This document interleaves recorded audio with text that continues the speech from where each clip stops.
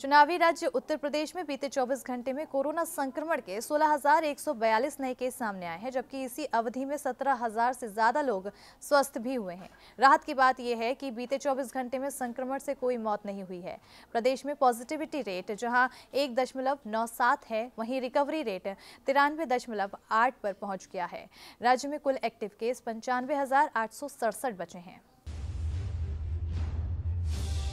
उत्तर प्रदेश में पिछले 24 घंटों में दो लाख इकतालीस हज़ार चार सौ सत्तावन कोरोना टेस्ट किए गए, जिसमें सोलह हज़ार एक सौ बयालीस नए संक्रमित मरीज़ मिले। इसी अवधि में सत्रह हज़ार छह सौ लोग पूरी तरह से स्वस्थ होकर कोरोना मुक्त भी हुए। इस तरह प्रदेश में वर्तमान में कुल एक्टिव केस पिचानवे हज़ार आठ सौ छियासठ बचे हैं। राहत भरी बात यह है कि प्रदेश में 18 वर्ष से अधिक उम्र के सतानवे फ़ीसदी से अधिक लोगों ने टीके की पहली डोज प्राप्त कर ली है, जबकि तिरसठ फ़ीसदी से अधिक लोगों को टीके की दोनों डोज दी जा चुकी है। इसी तरह 15 से 17 आयु वर्ग के 70 लाख बावन हज़ार ऐसी अधिक का टीकाकरण हो गया है।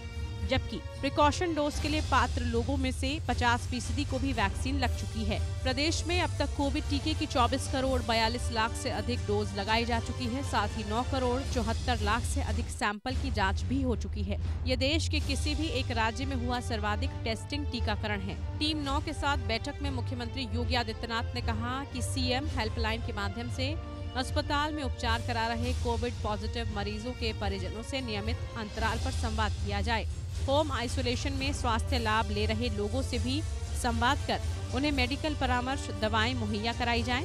मुख्यमंत्री ने इंटीग्रेटेड कोविड कमांड सेंटर्स को 24 घंटों क्रियाशील रहने की भी निर्देश दिए हैं टीम नौ के साथ बैठक में सीएम योगी ने कहा कि होम आइसोलेशन के मरीज़ निगरानी समितियों से संवाद, एंबुलेंस की ज़रूरत और टेली कंसल्टेशन के लिए अलग अलग नंबर जारी किए गए हैं। बैठक में मुख्यमंत्री योगी आदित्यनाथ ने कई अन्य मुद्दों पर भी ज़रूरी दिशा निर्देश दिए।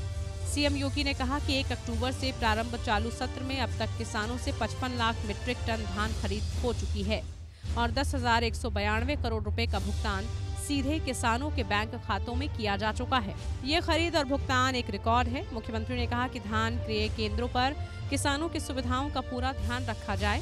ठंड से बचाव के लिए अलाव और अन्य सुविधाओं का इंतज़ाम भी हो। मुख्यमंत्री ने कहा कि क्रय केंद्र तक आने वाले हर पात्र किसान से धान खरीद की जाए और भुगतान में देरी न हो।